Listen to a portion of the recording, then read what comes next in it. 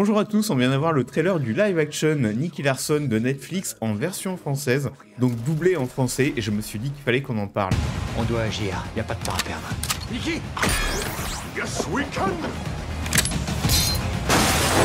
Pardon, mais t'avais qu'à te pousser. Donc ce live action Nicky Larson ou City Hunter, c'est Netflix qui va le diffuser très bientôt. Ce sera le 25 avril et on a eu une première bonne annonce en japonais sous-titré et maintenant celle en version française. Alors une première remarque pour les fans de l'époque Club Dorothée, en fait le live action il adapte le manga et pas trop l'animé, plus le manga. On le voit bien d'ailleurs dans les habits de Nicky, ce long manteau et puis euh, cette veste verte qu'il a dans le trailer. Si vous êtes fan de l'animé de l'époque, vous attendez peut-être la VF, version française avec grande impatience. Et euh, la bonne nouvelle, bah, c'est qu'il y aura une VF. Euh, on est sur Netflix, il double en général. Mais cette VF, ce sera peut-être pas ce que vous attendez.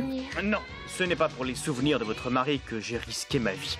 Vous n'avez toujours pas compris que c'est pour vous que j'ai fait tout ça. Pour vous seul Adieu Vincent Ropion et sa voix si reconnaissable. Non, ce sera des nouvelles voix. Mais euh, c'est pas ça qui me pose problème, moi, euh, que ce soit pas les voix de l'époque. Pour moi, en fait, ce que je veux discuter dans cette vidéo, c'est carrément le bien fondé de doubler en français un live action japonais. Parce que sur le principe, en fait, du doublage en français, moi je reconnais que les doubleurs français sont des artistes, qui font très bien leur boulot, que souvent euh, ça amène des choses, même que c'est plutôt qualitatif même si je suis plutôt fan de la VO pour ma part. Mais sur le live action, et pas sur un animé, hein, sur un live action avec des acteurs japonais, je trouve que vraiment ça peut faire débat. Parce que donc c'est des acteurs japonais, et ils ont une façon euh, et des expressions très japonaises qui sont vraiment difficiles à transcrire euh, en français. Je vais vous passer deux fois la même scène, une fois en japonais et une fois en français. Et vous verrez ce que je veux dire. La façon dont les japonais jouent, une fois doublé en français, il y a un truc qui sonne faux.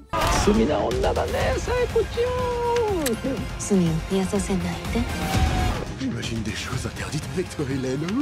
Moi, j'imagine des choses illégales. Je vous mettrai en commentaire les liens vers les deux trailers, en VO et en VF. En tout cas, pour moi, c'est clair cette fois. Doublé en français, c'est beaucoup trop casse-gueule pour un live action japonais. Et ce qui est sûr, c'est que moi, je le regarderai en VO. Mais dites-moi dans les commentaires, peut-être que ça vous dérange moins, ou peut-être que vous préférez de toute façon la VF. On se retrouve bientôt, n'hésitez pas à follow. Salut Tu imploreras le pardon du diable en enfer.